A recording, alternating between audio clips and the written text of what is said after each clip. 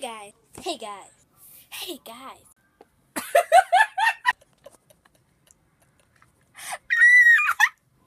hey guys, today's video is going to be about how to make a pencil box, like a pencil holder for your pencils that I showed you yesterday.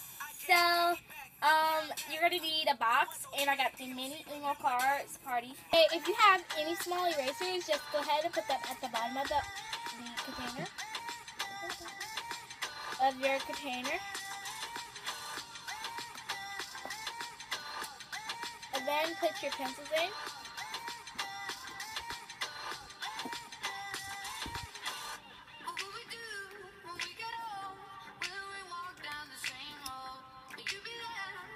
Then you have your pencil box for your pencils and they look like this and I'm going to show you the inside of them. Look like that.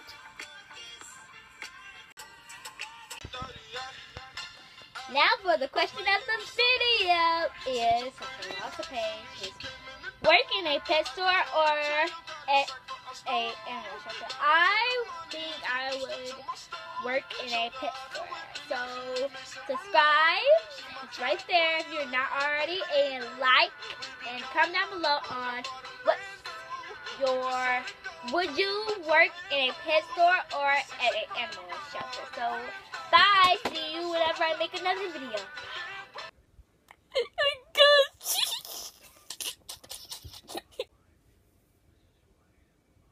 oh gosh, you scared me.